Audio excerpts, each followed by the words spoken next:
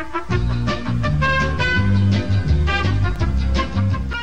cut the deficit $1.7 trillion in two years. Nobody's ever done that.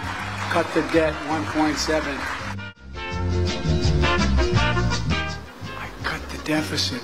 Cut the debt. Cut the deficit $1.7 trillion in two years. Great to see Alabama receive critical funds to boost ongoing broadband efforts. it's great. That's all right, because I'm one of those guys that believe in conversion.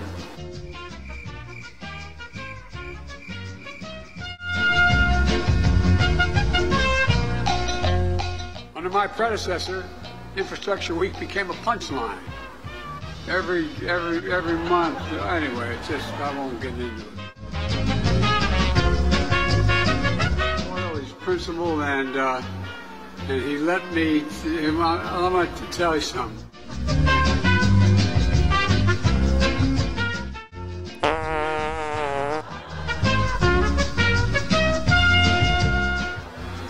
Anyway. Let's go, Brandon. I agree.